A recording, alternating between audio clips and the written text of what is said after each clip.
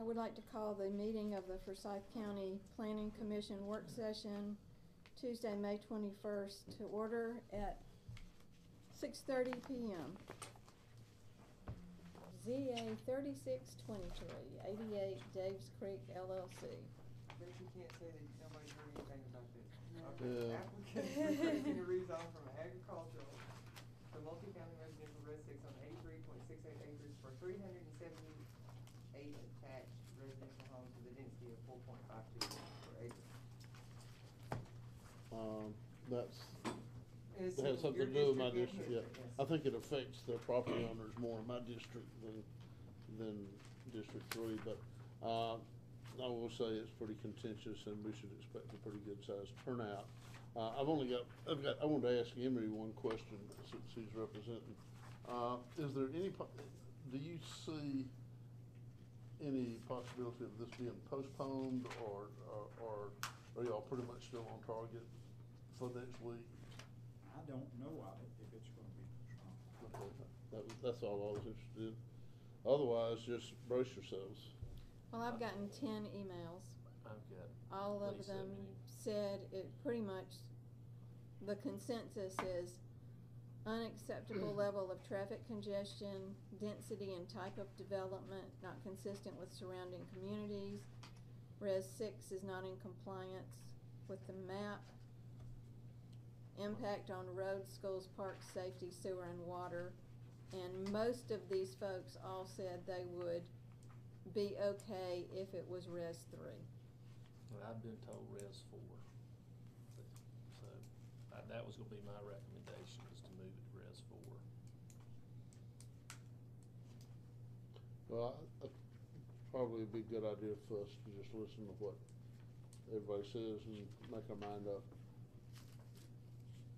Then, I, I'm sure that there'll be because, lots uh, of uh, folks uh, there. This is in District Five too, and I kinda wanna weigh in on it too, you know, if you don't mind. That's fine. Most of the concerns that I saw were, I mean, you know, it's seen a lot with schools and traffic, the tra- I mean, you know, traffic is definitely one I think everybody voiced. Mhm. And I driven, I drive Atlanta Road sometimes and go across there, so I know it's, the intersections aren't too good.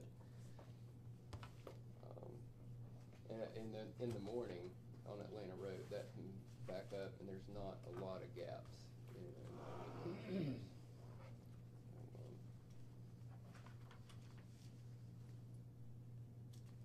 Um, There's a development going in across the street, I think there's ninety units approved there. I think That's- it's res three too, It's res three. Ryland. That's not, that's not incorporated yet. Yeah, I mean incorporated as far as into the, what's, um, the traffic that's there. And also, just a little added information concerning Ryland is th- th- there may be a possibility that they may be interested in this property. There- There's some, there's some, uh, I think, I'm not sure, but there may be some negotiations going on, you know, and, uh, there may be more to it than what we see. So the one the street is Res three? The one, Yeah, the it's one Res that was three. recently zoned across the street is Res Mhm. three. Well, this is, you know, three sides the quarry.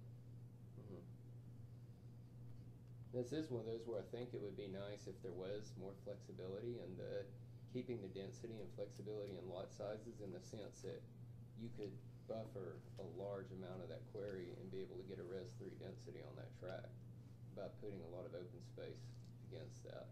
One of the concerns I have about res six, I understand that their land values aren't necessarily, you know, like you can't just put big estate homes right on the edge where the quarry operation is necessarily because the market may not support it.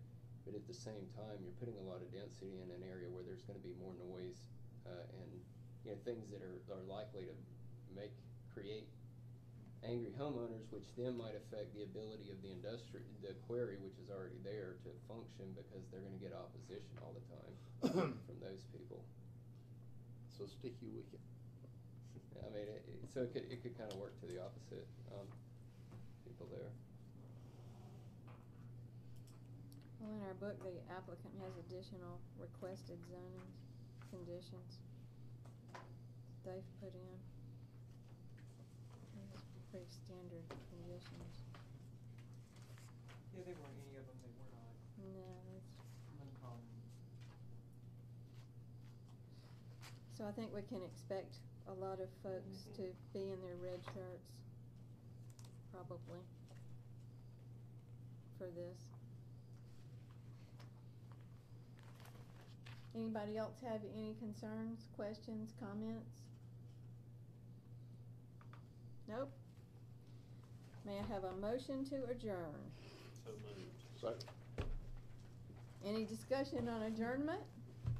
All those in favor of the motion for adjournment, please signify by saying aye. Aye. All in opposition, please signify by saying aye. Uh, oh, Motion, motion passes five to zero to adjourn. At nine,